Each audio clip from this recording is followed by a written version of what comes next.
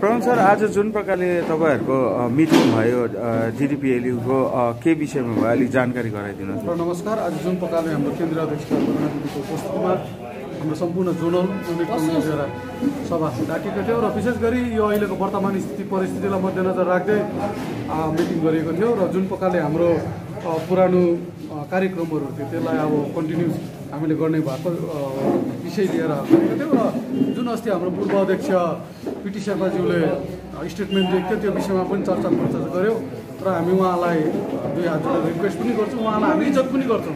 किन हामीलाई सिकाएको उहाँले? तर अब यो अरिजिनल र डुप्लिकेट भन्नु चाहिँ उहाँलाई अलिकति त्यो एजमा गएर सुहाउँदैन अघि हामीले भन्न पनि मिल्दैन किनभने हामी अब उहाँको एउटा गरिमय स्थान छ। यो उमेरसम्म उहाँले हामीलाई सिकाएको पनि हो। तर एउटा सिम्पल कुरो छ दुई हजार सत्रमा जति बेला यहाँ सेन्ट्रल कमिटी गठन भएको थियो। उहाँ स्वयं पनि आउनु भएको हामीले बोलाउनु बोलाएको पनि हो। यहाँ यही अफिसमा एकदमै गरिमाई प्रकारले उपस्थितिमा मिटिङ भयो। र आज आएर अब घरि यो गरेको थिएन घरि त्यो गरेको थिएन। त्यो प्रकारको स्टेटमेन्ट दिएर चाहिँ हामीलाई पनि दुःख लागेको छ।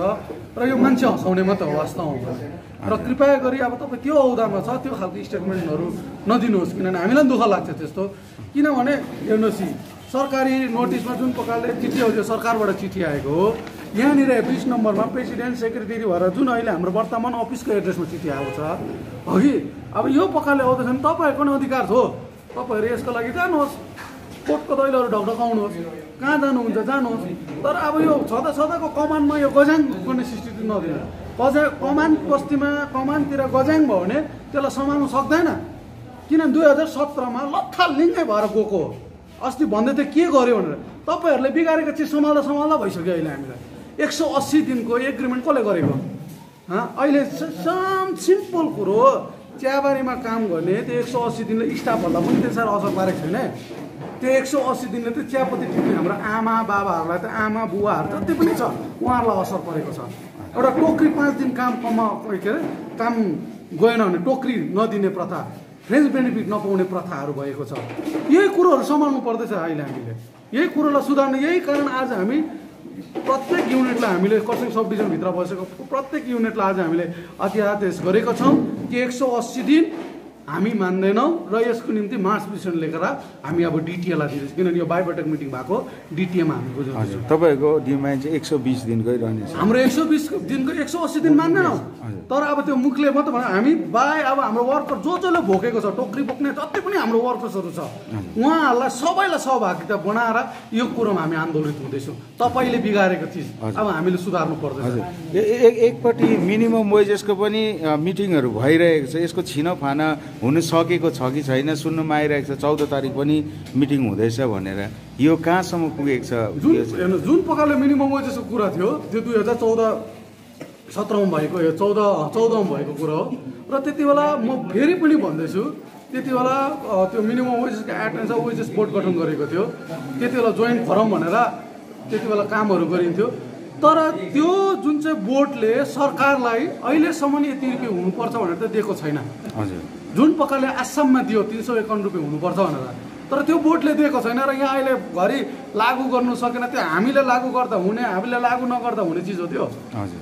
यो पकाएको छ अन्त यही कुरोहरूलाई लिएर अब चौध तारिक मिटिङ हुँदैछ। निश्चय नै राम्रो हुन्छ। हजुर। निश्चय नै राम्रो हुन्छ।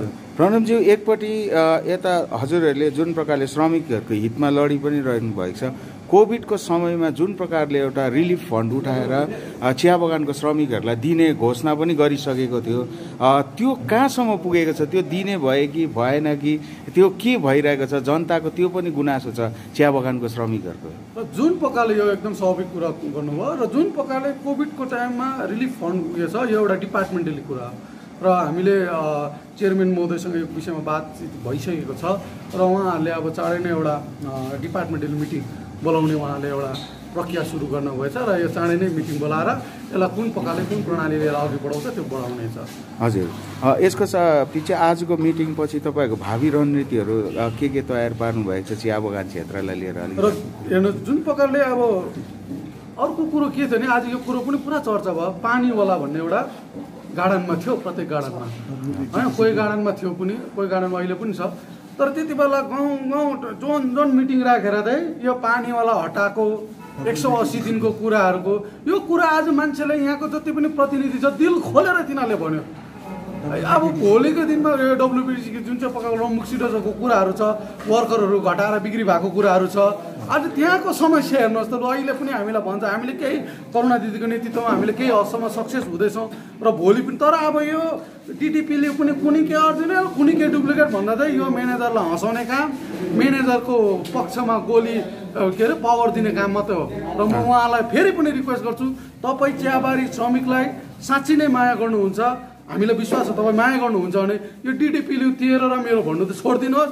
यो दुई हजार सत्रमा जुन प्रकारले रेजिस्ट्रेसन भएर एउटा नयाँ कमिटी तपाईँ पनि यसमा प्रिन्सिपल एडभाइजर लिगल एडभाइजर होइन। लिगल त कानुन पास गर्नेलाई हुन्छ र तपाईँ एउटा प्रिन्सिपल एडभाइजर हुन्छ। हामीलाई तपाईँले सल्लाह पनि दिनुभएको हामी मान्छौँ यो कुरो तर तपाईँ पनि कसैको करकपमा आएर अस्ति स्टेटमेन्ट दिएको होला कृपा गरी अबदेखि त यो खालको स्टेटमेन्ट त नदिनुहोस् र मन्त्री अगाडि तिमी अरिजिनल म डुप्लिकेट भन्ने पनि नगर्नुहोस् तपाईँ कोर्ट खुल्लै छ कोर्टमा जानुहोस् के हुन्छ त्यति त्यो कुरोले बुझ्छ। र कमानको मान्छेलाई त हाँसोको पात्र त तपाईँले नबनाइदिनुहोस् यही म रिक्वेस्ट गर्छु र हाम्रो रणनीति यही छ। अब प्रत्येक गार्डनमा गएर एक सौ अस्सी दिनको जुन चाहिँ छ पिटी सर हाम्रो पूर्व अध्यक्षज्यूको नेतृत्वमा एग्रिमेन्ट भएको हो त्यो। त्यो एक सौ अस्सी दिनले अफिसमा काम गर्ने बाउहरूलाई पनि असर पारेको छैन। होइन स्टाफ सब स्टाफलाई पनि त्यसरी असर पार्दैन। त्यो अस्सी अस्सी दिनले सोझै टोक्री बोकेर चियापत्ती टिप्ने हाम्रो गम्मुट लगाएर बर्खामा पानीले भन्दा पनि ज्यादा पसिनाले भिजेको हुन्छ तिनीहरू बिचराहरू। तिनीहरूलाई असर पारेको छ र यो कुरो चाहिँ अब हामी मान्दैनौँ यसको निम्ति सडकमा उत्रिन उत्रिन्छौँ। के अरे गार्डन घेराउ गर्नु पर्दैन हामी पछि हट्दैनौँ भन्ने आज हामीले प्रण गरेर कर्सियङ सब डिभिजनमा हामीले यो शङ्का घोष गरिसकेका छौँ आजको सभामा। धन्यवाद जानकारी